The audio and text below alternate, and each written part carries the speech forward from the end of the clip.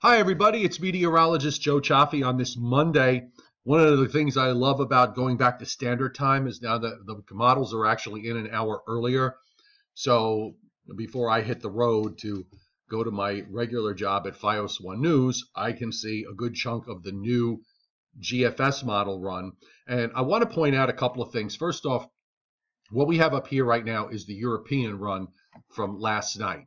Um, this is not going to be available till later this afternoon. So we're just going to look at what the European did uh, in terms of trends.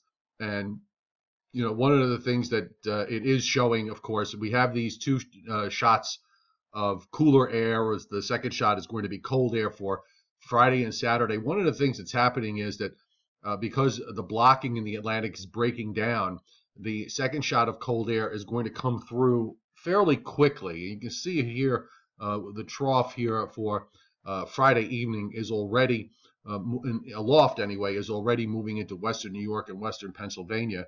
So you have uh, the core of the cold air uh, moving in probably about a day faster, and it's probably going to move out about a day faster as well. And you, you can see, by the way, that the general flow still is coming in from the Pacific. We're getting some cold air that's funneling down out of uh, out of northern Canada. This is polar air. It's not true Arctic air, but it's a cold enough shot and certainly in line with the kind of thing you would see this time of year. Now, there goes the trough. By Saturday evening, it's already well offshore. And I want to just point out the difference from just a couple of runs ago. Uh, if you look back, uh, it had a much deeper system in the east. You can see it here uh, on on this particular run, much deeper on uh, the about three runs ago uh, with this big upper low that forms in eastern Canada. So that would have made for a prolonged cold of several days. But we've got a difference now in the last few model runs, and uh, the GFS and the Canadian model run pretty much have the same idea. You notice the trough is not is nowhere like what it was being shown. It's uh, just basically a bit long wave trough. Uh, and this is for Saturday evening now. The trough axis is already offshore, and you've got you know milder air that's streaming across southern Canada. Uh, the cold air is, at least for the time being, locked up further north. But we're going to get that cold shot for a couple of days this weekend, starting you know later Friday, Friday night into Saturday, Saturday night, and Sunday morning. And after that, temperatures are going to um, moderate some. Uh, but as we move through time, the European last night begins to carve out a, a major trough uh, down through the center of the country. And I, this is all part of the process of pattern change. Uh, and again, it is a process and not a singular event. Do not expect whatever it is you might be expecting out of this. Um, you know, I'm not promising anything. We have to watch and see how these things evolve over time. But you've got this ridge building up in the west. You have strong northwesterly winds moving down into the Dakotas. You've got a nice southwesterly flow developing along the east coast. So this would uh, suggest, at least from the European last night, that some kind of storm was going to form uh, in the Midwest and Ohio valleys and move north northeast from there.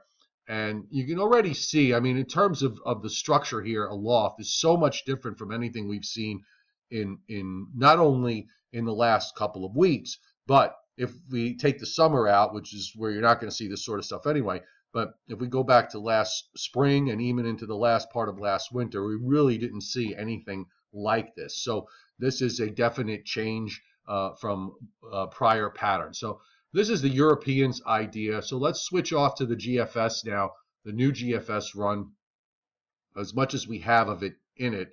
You know, the GFS was totally different with this. So it seems to be coming more into line with the European, although it's not quite there uh, as far as the European is concerned. One of the things that's going on with the GFS is you've got several weather systems moving along in the flow, and each one acts as a kicker for the other system as they go along. So you know it just makes um, you know it makes for a different outcome, uh, at least on this particular model run. It does have some you know this trough here uh, going negative in the east, but there is another system that now is moving in to the Rockies, and you've got another one behind it. So I guess one of the takeaways from this, in my view, is you've got a, a definite change now going on as far as systems beginning to come in on the southern stream. So let's see if that plays out into some sort of long-term break in the drought pattern. The other thing that's going on is up in Canada is that we have basically a reorganization of the pattern in Canada going on as well with little vortex there up in northern Hudson's Bay, some ridging uh, that goes up uh, east of Alaska and on up into the Arctic regions and a ridge that's out in the Atlantic. So we've got this transitional pattern that's developing and it's it's going to be a matter of seeing how what it eventually evolves into. What it evolves into, I don't know. Okay, I wish I did know um, because that's what future mar- futures markets would be for.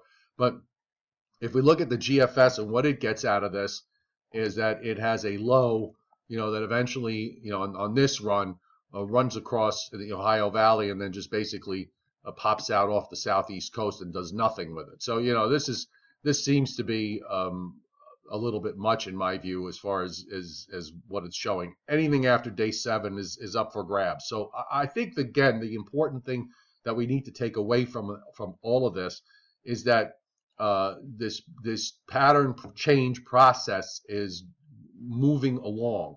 Um, what it moves to remains to be seen. Um, a lot uh, is going to depend on what winds up happening in the western states and on up into Canada. Does the Pacific become uh, a much more, uh, much less hostile environment from the standpoint of um, of a Pacific pattern that would favor colder air flooding up into Canada and eventually coming down? That's something that remains to be seen. Now we'll just finish this off. We'll look at the. Uh, I, I don't have the whole run, obviously. You know, but one of the things we want to watch for is that this area up here in Western Canada, you can see how much cold comes into the east on Sunday with temperatures below normal and still a little below normal into Monday morning.